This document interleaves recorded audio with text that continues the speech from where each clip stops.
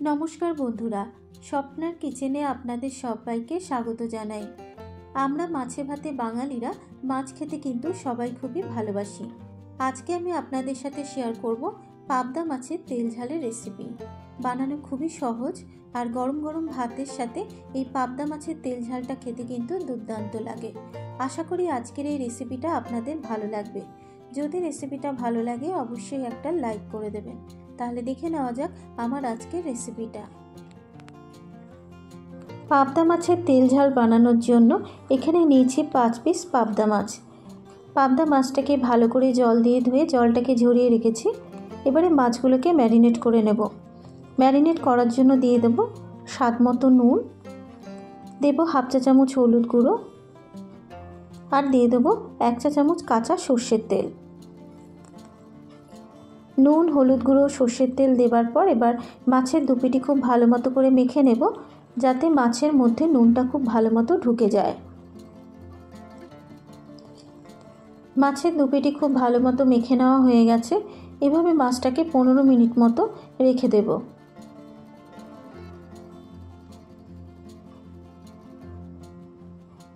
মাছটা মেখে নেবার পর এবার একটা মশলা তৈরি করে নেব, দিয়ে দেব তিন চা চামচ কালো সর্ষে।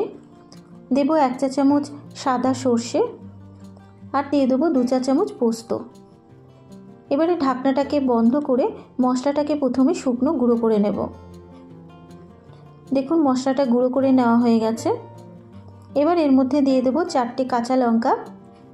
দেবো অল্প পরিমাণ একটু নুন আর দিয়ে দেবো অল্প পরিমাণ একটু জল।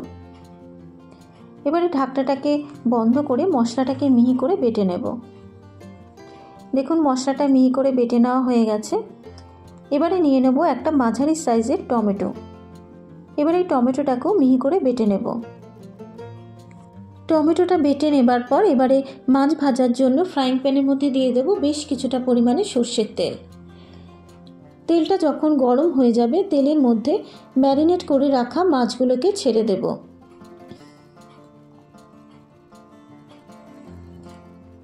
এবারে গ্যাসের ফ্লেমটাকে মিডিয়ামে রেখে মাছগুলোকে হালকা করে ভেজে নিতে হবে। আর পাবদা মাছ যেহেতু খুব নরম মাছ, তাই মাছগুলো উল্টানোর সময় খুব হালকা করে মাছগুলোকে উল্টাতে হবে যাতে মাছগুলো ভেঙে না যায়। মাছের এক পিঠ ভাজা হয়ে যাবার পর এবারে মাছগুলোকে উল্টে দেব।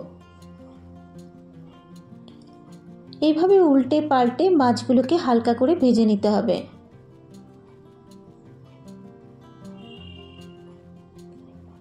মাছের দুপিটি খুব ভালো মতো ভেজে নেওয়া হয়ে গেছে। এবারে মাছগুলোকে একটা পাত্রে তুলে নেব।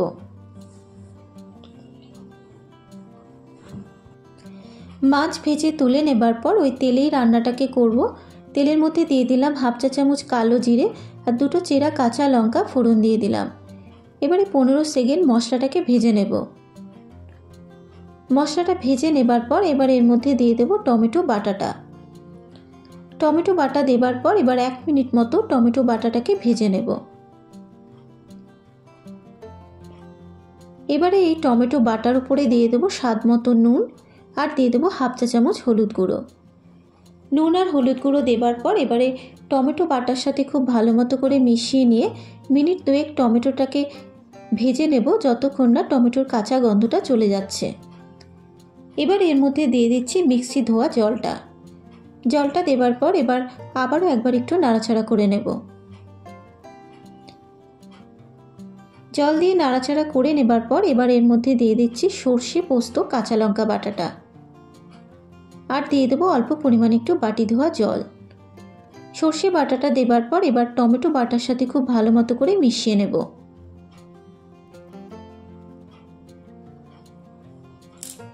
সর্ষে বাটাটা যখন খুব ভালো মতো মেশানো হয়ে যাবে, এবারে গ্রেভির জন্য দিয়ে দেব খুব সামান্য পরিমাণে একটু জল।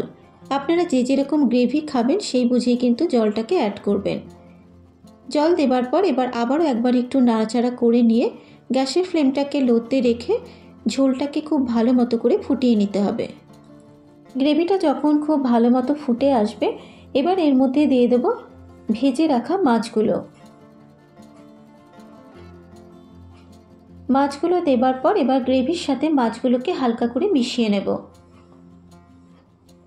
মাছটা গ্রেভির সাথে মেশানো হয়ে যাবার পর এবার দু মিনিট মতো গ্রেভির সাথে ফুটিয়ে নেব।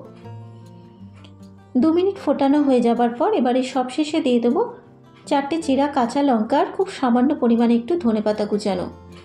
কাঁচা লঙ্কা আর ধনেপাতাটা দেবার পর এবার আবারও একবার একটু নাড়াচাড়া করে নিয়ে গ্যাসের ফ্লেমটাকে বন্ধ করে মিনিট পাঁচেক ঢাকা দিয়ে স্ট্যান্ডিং টাইমে রেখে দেব। তৈরি হয়ে গেছে আমার আজকের রেসিপি পাবদা মাছের তেল ঝাল। যদি রেসিপিটা আপনাদের ভালো লাগে, অবশ্যই আপনারা এভাবে একবার বাড়িতে ট্রাই করবেন ও আমাকে কমেন্ট করে জানাবেন রেসিপিটা আপনাদের কেমন লাগল। নিত্য নতুন রেসিপি পাওয়ার জন্য আমার চ্যানেলটাকে সাবস্ক্রাইব করে পাশে থাকা বেল আইকনটি প্রেস করে দেবেন। আজকের মতো এই পর্যন্ত। ধন্যবাদ।